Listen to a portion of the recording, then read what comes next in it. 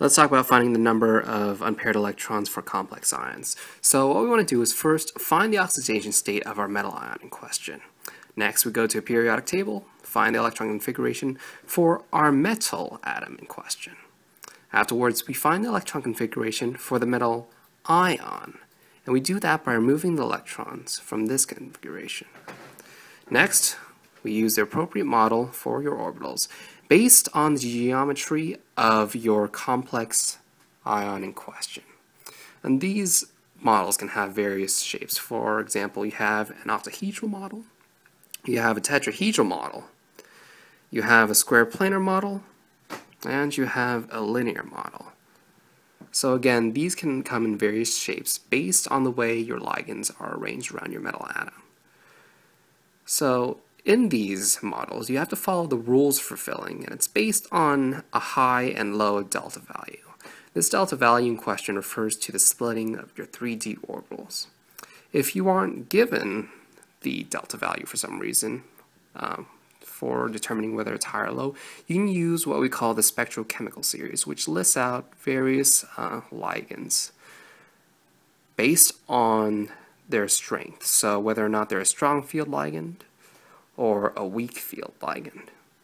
Strong field ligands will have a large delta value and be low spin, and weak field and ligands will have a small delta value and a high spin.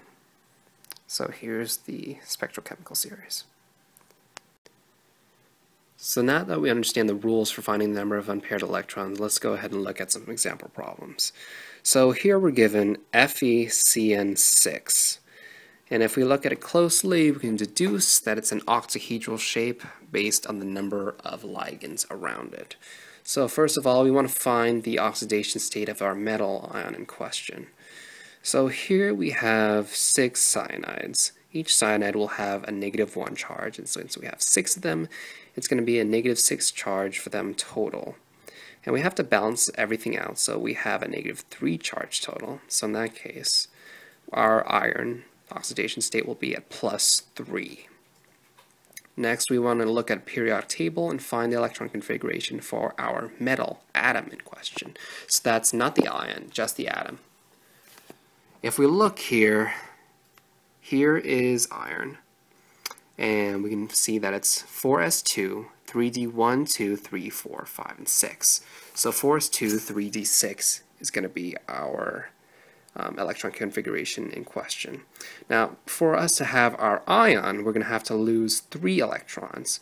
So first of all, we take our electrons away from our higher um, orbital value first. So take two away from our 4s2.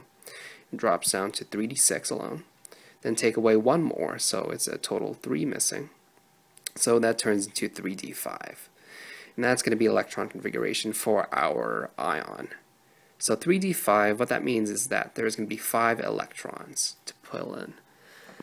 So again, here is our octahedral model. And if we fill it in, we're going to actually have this um, electron configuration. Because if we look at our spectrochemical series, we can see that it's going to have a large delta value because cyanide is a strong field ligand.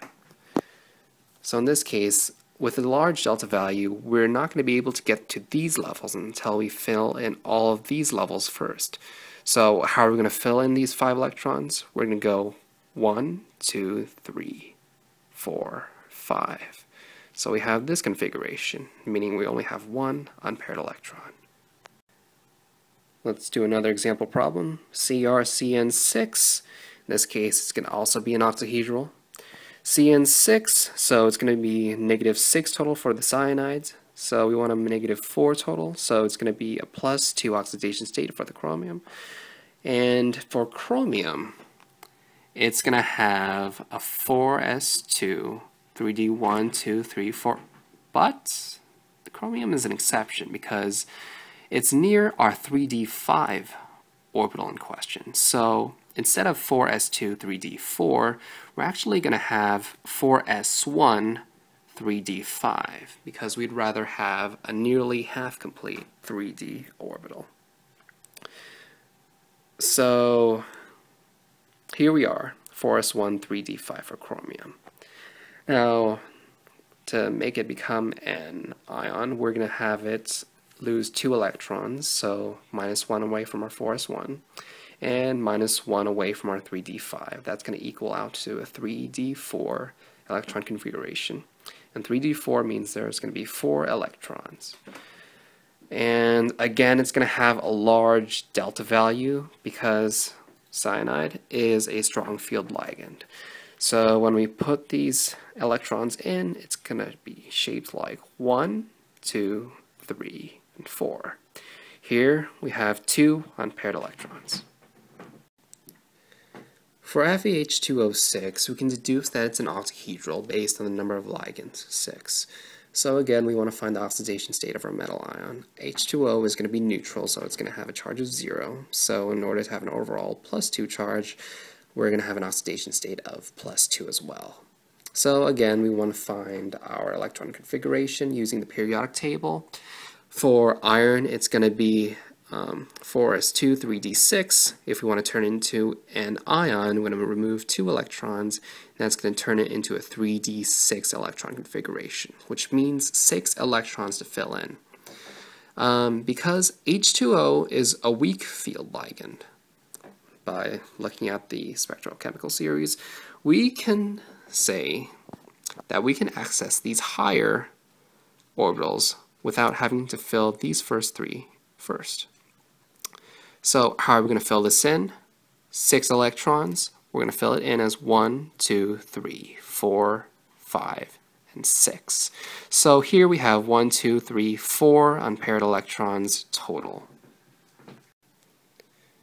For CoCl4, we're actually given that it's going to be a tetrahedral shape instead of a square planar. In these cases where we have four ligands, it's not easy to differentiate between the shapes, so you're usually given the shape. So let's begin again. Let's find the oxidation state of our metal ion. So each chlorine will have a negative 1 charge, so four of them will have a negative 4 charge total. In order to have an overall negative 2 charge, our cobalt will have to have a plus 2 charge. So again, looking at our periodic table, we can figure out our electron configuration. In order to turn it into an ion, we're going to have to lose two electrons, so that's going to give us a 3d7 charge, which means 7 electrons total. And in this case, this is going to be in a tetrahedral shape, so it'll be 3 on top and 2 on the bottom. And for a tetrahedral, we should note that it's always going to be a weak value for our delta. Um, so in this case, we want to figure out 7 electrons. So we're going to fill it in like 1, 2, 3, 4, 5, 6, 7. So again, because it's weak, we can access these top three um, these higher level orbitals without needing to fill the bottom ones first. And that's going to give us three unpaired electrons total. For NiCN4, we're given that it's going to be in square planar shape. So for our cyanides, it's going to be negative 1 each, so total for cyanides would be negative 4. Overall charge would be negative 2, so we want our nickel oxidation state to be plus 2. If we look at our periodic table, we can see that our electron configuration is 4s2, 3d8. We lose two electrons to make our ion, which is going to give us eight total electrons to fill in. It's going to be in a square planar form, so it's going to look like this. Notice that we have a very large delta value from the top orbital to the bottom orbital. This is more or less always going to give us a low spin case, so it's going to be a large delta value. In this case, how we fill this in with 8 electrons is 1, 2, 3, 4, 5, 6, 7, 8. And that's going to give us 0 total unpaired electrons. This is more or less how you find the number of unpaired electrons for complex ions.